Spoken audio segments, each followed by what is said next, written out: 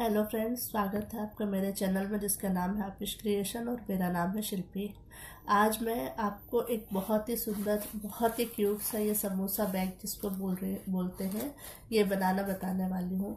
दोस्तों, हमारे पास जब हम साड़ियाँ लेते हैं तो उनके साथ में बहुत से ब्लाउज पीसेस आ जाते हैं जिनको हम स्टिच नहीं कराते हैं और वो हमारे पास यूँ ही पड़े रहते हैं। ऐसा ही एक ब्लाउज पीस था मेरे पास, जिसका मैंने मेरी बेटी के लहंगे के साथ के लिए टॉप स्टिच किया था। मेरी बेटी की डिमांड थी कि उसे एक छोटा सा बटुआ या पोटली बैग या कुछ ऐसा चाहिए जो वो लहंगे के साथ कैरी कर सके। तो उसकी डिमांड पर मैंने उसके लिए क्यूट सा समोसा बैग बनाया है, जिसे चाहे तो हम भी यूज़ कर सकते हैं और चाहे तो बच्चे भी यूज़ कर सकते हैं। ये देखिए, इस तरीके का है। ये देखिए, इसमें काफ़ी स्पेस है। और सबसे बड़ी बात, ये देखने में बहुत ही क्यूट लगता है। देखिए, कितना प्यारा लग रहा है। आज मैं इस वीडियो में आपको ये समोसा बैग ही बनाना बताऊँगी। यदि आपको वीडियो थोड़ा सा भी पसंद आए तो प्लीज़ मेरे चैनल को लाइक कीजिएगा। आप में से बहुत से लोग मेरे वीडियोस देखते तो हैं, पर उसे लाइक नहीं करते, सब्सक्राइब नहीं करते। प्लीज़ उसे सब्सक्राइब कीजिए, क्योंकि यदि आप सब्सक्राइब करेंगे तो हमें मोटिवेशन मिलता है कि हम और अच्छे अच्छे वीडियोस बना सकें। आप उसे लाइक कीजिए, सब्सक्राइब कीजिए।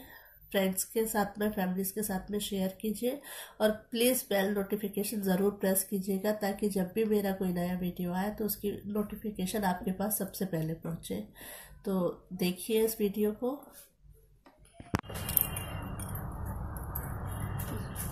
सबसे पहले हम ये कपड़े का टुकड़ा लेंगे, जिसकी लंबाई और चौड़ाई मैं आपको बताती हूँ।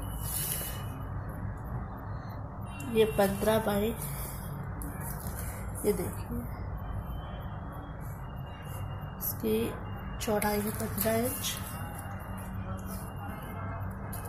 और ये लंबाई है सेवन इंचेस तो ये सात बाई पंद्रह का एक कपड़ा लेंगे हम।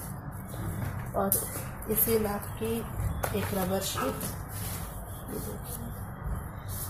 सेम नाप की रबर शीट लेंगे और इसी नाप का अस्तर का कपड़ा लेंगे। ये देखिए। ये इस तरीके से हमने बचा हुआ अस्तर का कपड़ा लिया है, क्योंकि कपड़ा छोटा पड़ रहा था, इसलिए मैंने इस पर जॉइंट लगाया हुआ है। तो ये लेंगे हम, और सबसे पहले मेन कपड़े और रबर शीट को साथ में लेते हुए इस तरीके से पिनअप कर देंगे, एक इस साइड और दूसरा ये साइड ताकि ये अपनी जगह पर फिक्स रहे, यहाँ वहाँ ना खसके। देखिए, ये इस तरीके से हम इनको पिनअप कर देते हैं। पिनअप करने के बाद हम रबर शीट और इसको इस इस तरह से चारों तरफ़ से जोड़ देंगे। ऐसे सिलाई करते हुए चारों साइड से जॉइंट लगा देंगे। तो ये मैं आपको करके दिखाती हूँ।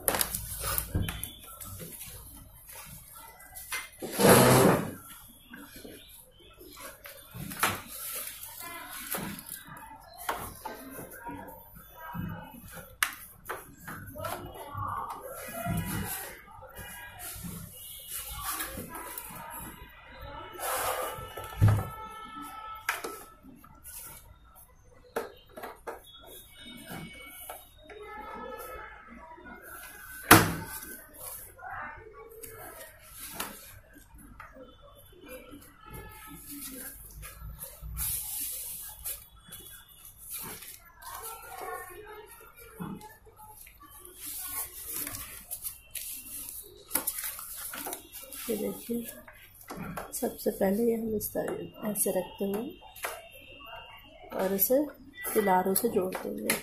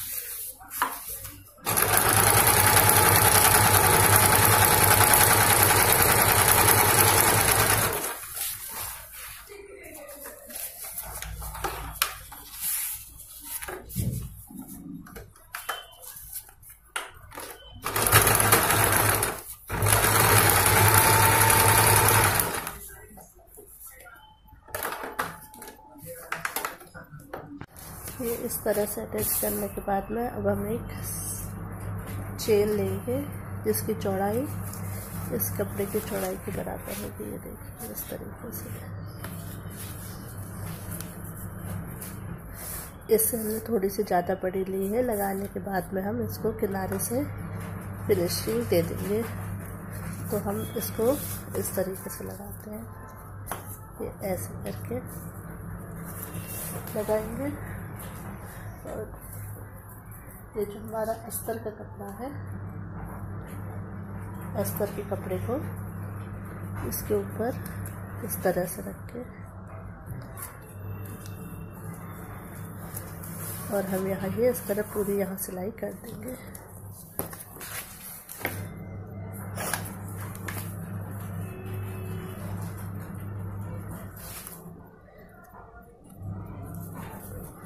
इसे भी हम इस तरीके से पिन से सिक्योर कर देते हैं, ताकि ये निकले ना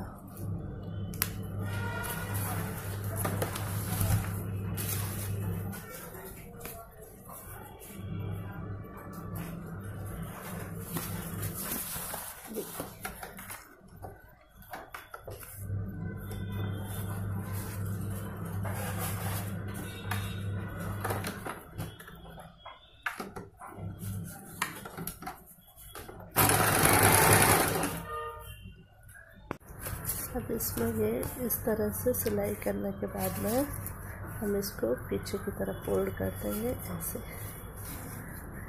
ये देखिए इस तरीके से। और यहाँ पर टॉप स्टिच लगा देंगे। ठीक इसी तरीके से चेन के इस हिस्से को हम यहाँ से निकाल कर ये दूसरे साइड जोड़ेंगे। और इसमें भी टॉप स्टिच लगा देंगे। तो मैं आपको ये करके दिखाती हूँ। अब ये देखिए दूसरी तरफ़, ये हमने कपड़ा रखा। कपड़े के ऊपर ये उल्टी करके चेन रखी और चेन के ऊपर से ये अस्तर का कपड़ा लेकर आएँगे। और ये कॉर्नर में ऐसे पूरी सिलाई कर देंगे। ये देखिए, ये हमने इस तरह से रनर इसके अंदर डाल के और इसको ऐसे लॉक करके इस साइड से निकाल लेते हैं। और इसके बाद हम इस साइड से दोबारा से रनर डालते हैं। एक बार पूरा लॉक करने के बाद में ये दोबारा से रनर इसमें डाल दिया है। अब हम इसको इस तरीके से पलट लेंगे।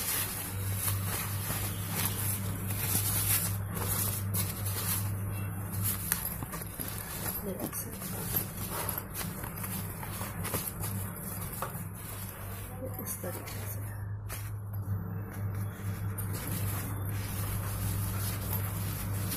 अब हम क्या करेंगे इस चेन को ऐसे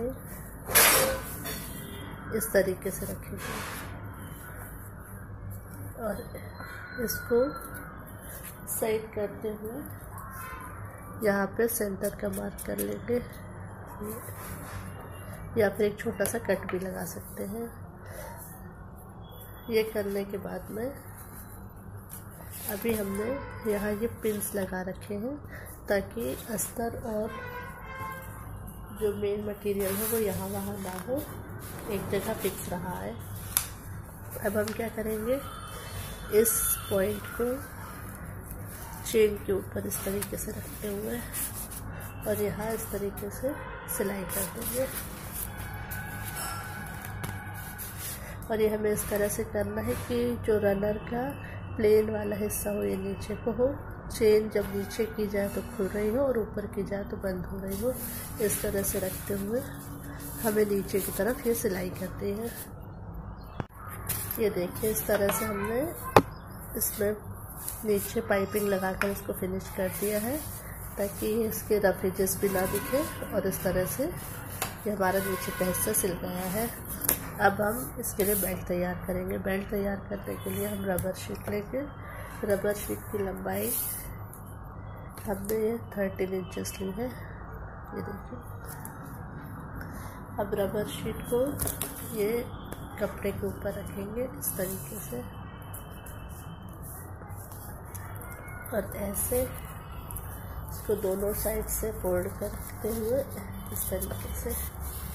और लंबी सिलाई कर लेंगे और बेल्ट बना लेंगे। देखिए, ये हमने इस तरीके से ये बेल्ट तैयार कर लिया है। अब हम इसको दोनों साइड से फिनिश कर देते हैं।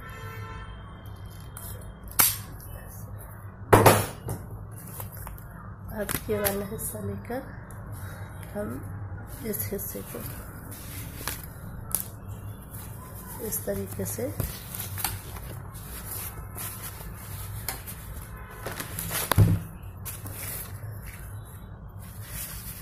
ये नीचे वाला हिस्सा अपने सीधा जोड़ा था। अब हम चेन को इस तरह से पकड़ते हुए और इस वाले हिस्से को इस तरह से तिकोना करते हुए जोड़ेंगे।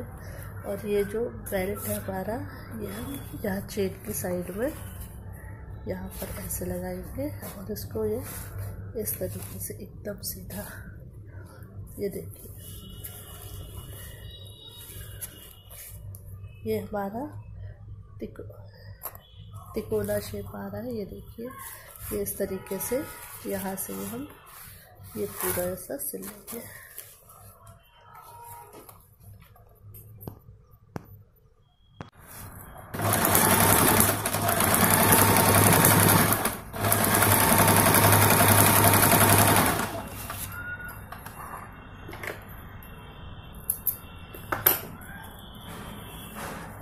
यहाँ इस तरीके से सिल लेंगे और इसे सिलने के बाद फिर अब यहाँ पर भी पट्टी लगाकर इसको फिनिश कर देंगे ये हमने दोनों ही तरफ़ से ये पट्टी लगाकर फिनिश कर दिया है, जिससे हमारे कोई भी रफ एजेस इसमें नहीं रहे हैं ये एक्स्ट्रा धागे भी हम कट कर कर देंगे।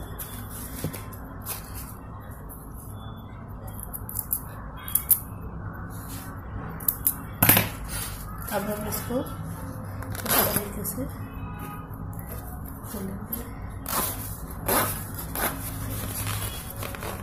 और खोलने के बाद इसको इस तरीके से पलट लेंगे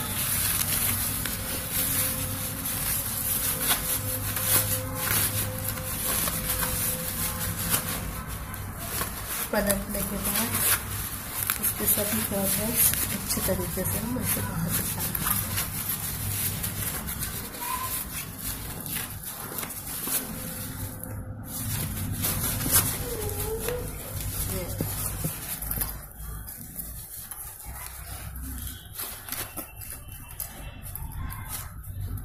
इस तरीके से कट कर देंगे और ये देखिए, हमारा ब्यूटीफुल सा समोसा पैक तैयार है। इसका शेप बिल्कुल समोसे की तरह है और ये देखने में बहुत ही ब्यूटीफुल लग रहा है। और इसे मैंने लेफ़्ट ओवर कपड़े से बनाया है। आप चाहें तो किसी भी मटेरियल से किसी भी कपड़े से बना सकते हैं। ये बहुत ही ब्यूटीफुल लगता है। तो उम्मीद करती हूँ आपको मेरा ये वीडियो पसंद आया होगा। धन्यवाद। यदि पसंद आया हो तो प्लीज़ लाइक कीजिए सब्सक्राइब कीजिए शेयर कीजिए, और बेल आइकन ज़रूर प्रेस कीजिएगा। धन्यवाद।